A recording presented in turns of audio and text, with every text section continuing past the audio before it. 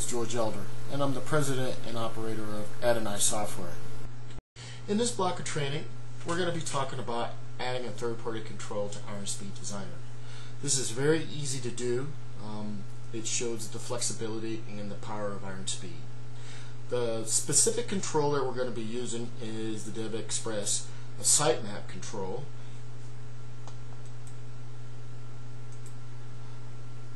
First of all, we're going to be using the IronSpeed Designer version 8.0.1, which is the current version, and I recommend everyone upgrade to the current version. It's, it's really nice. Then we're going to be using the DevExpress version 10.2, and this is going to have the sitemap control inside as well as we're going to import this uh, into IronSpeed Designer. We're going to be using uh, Visual Studios 2010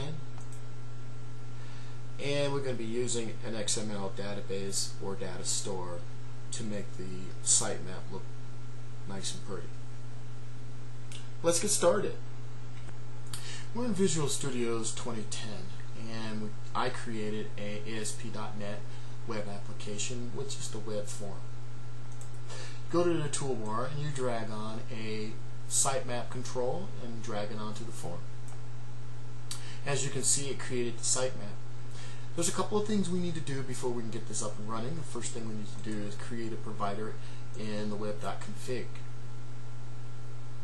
And basically this is how you do it. Um, you give it a name and it's off the system.web.xml sitemap provider. It has to point to the XML database that we created for our site sitemap. Going back to the form, we need to create a data source for it. Here it is. We created the data source. It comes on the form, and the next thing we need to do is point the provider to the data source. And the name, I can go back, and this is the name. Copy that, and go back to the form and here's the sitemap provider and you give it that name and I'm done. Let's run it and see what we got. We have a sitemap and as you can see it has hierarchical data and also links that you can click on to go specific pages. Wonderful. The next step will be importing this into ISD now that we have the sitemap built in Visual Studios 2010, we have to get it into IronSpeed Designer. It's very easy to get in an IronSpeed Designer. It's just a few steps that we have to take, and once we take those steps, it'll run in in um, IronSpeed Designer very, very nicely. The first step is is a, a declaration. You have to have a declaration to let IronSpeed Designer know um, what components or assemblies you're going to use.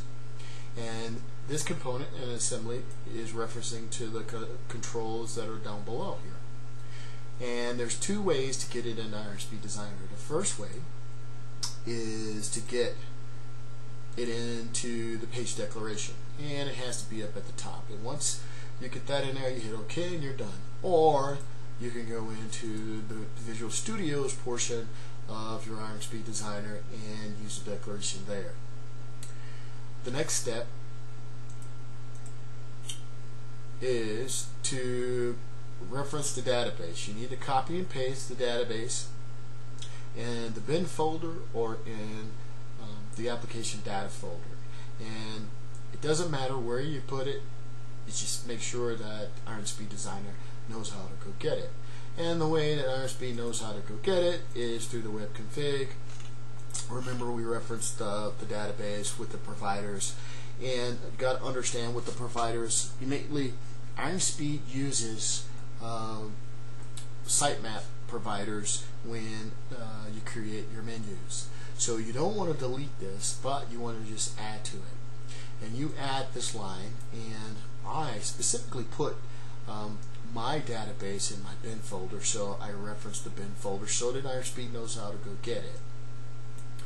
The next step is you have to make sure in the compile application .rsp it's a note uh, it's basically a word doc or a notepad um, You- It's in your it's in every Iron Speed Designer's uh, application.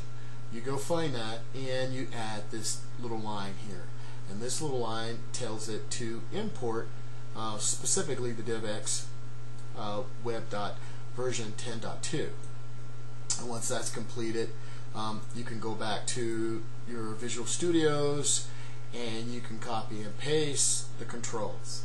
And there's two controls here. The first control is the sitemap control, and the second control is the database control. And you cut and paste this, and then you, you go to the uh, Iron Speed Designer Visual Studio side, and I put mine in table definition,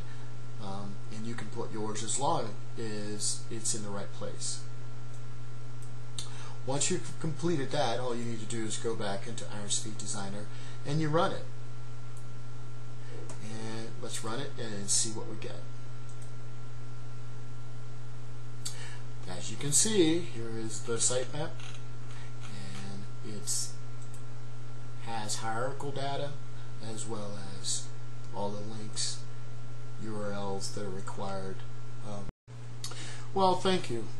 I just wanted to let you know how very flexible and powerful Speed Designer is. And I hope you enjoyed this session, and we'll see you next time.